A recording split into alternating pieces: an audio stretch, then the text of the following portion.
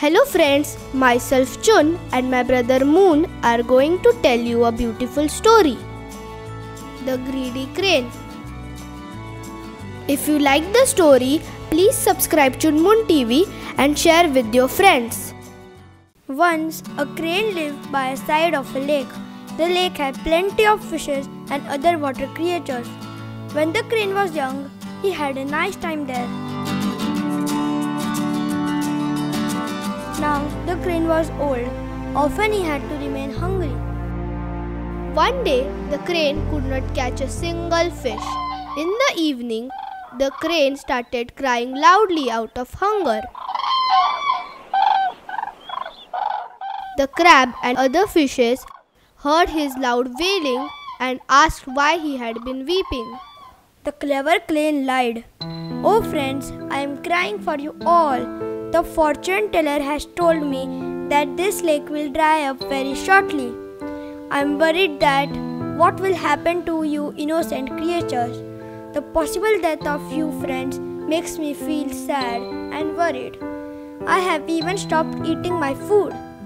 The fishes believed his word and asked in a worried voice, Oh crane, you are the oldest and the most experienced among us. Please save our lives from this problem. The shrewd crane, who was waiting for this opportunity, immediately agreed to render his help. The crane said, There is another lake nearby. I can pick you up from this lake one by one and drop you there safely.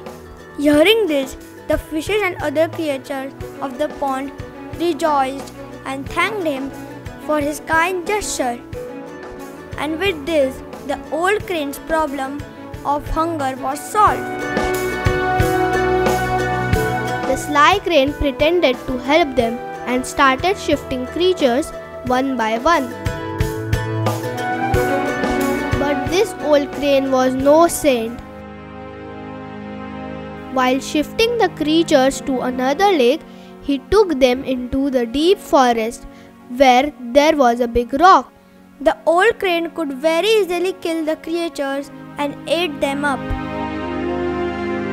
One day, a crab who was also the resident of the same lake said, Since long I have been requesting you to shift me to another lake. So far you have been helping only the fishes. Now it's my turn. Take me on your back to the lake. The crane was happy to hear this. He at once became ready as he was tired of eating fish. The crane thought, a crab's lunch will certainly bring change to my taste buds.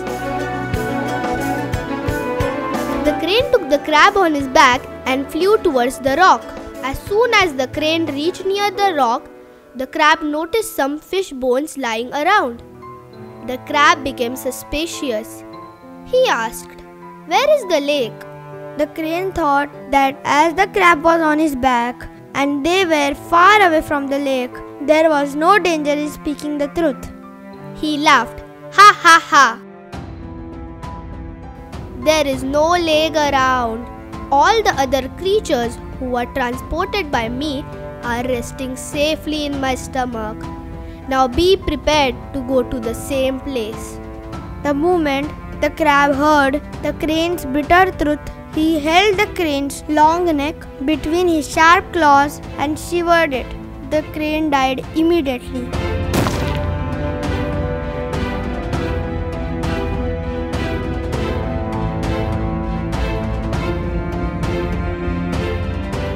The crab returned to the lake crawling and told the whole story to the residents there.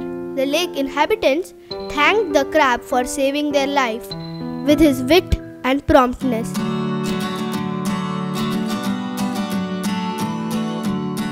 So, friend, through this story, we learn that we should not believe in anyone blindly and should use our own intelligence. So, bye bye, friends. See you soon. And don't forget to subscribe our channel and share this story with your friends.